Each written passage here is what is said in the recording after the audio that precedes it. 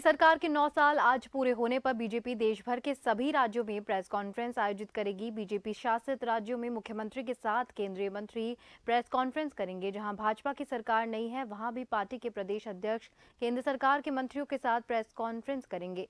इस दौरान पिछले नौ सालों में मोदी सरकार की उपलब्धियों के बारे में बताया जाएगा।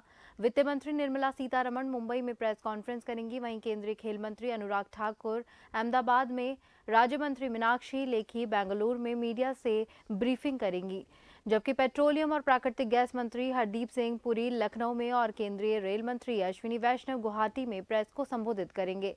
इसके अलावा भोपाल में मत्स्य मंत्री भूपेंद्र यादव, हैदराबाद में केंद्रीय कानून मंत्री अर्जुन राम मेघवाल, चेन्नई में जितेंद्र सिंह की प्रेस कॉन्फ्रेंस होगी।